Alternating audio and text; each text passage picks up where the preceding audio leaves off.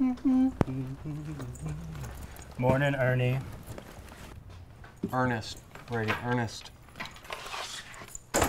Slam this morning? Can you please replace these? Oh. Hey, I thought of a new way to shove books, you know, like old in the back, new in the front. Nobody would find anything. Brady, let's go in literature. Over there.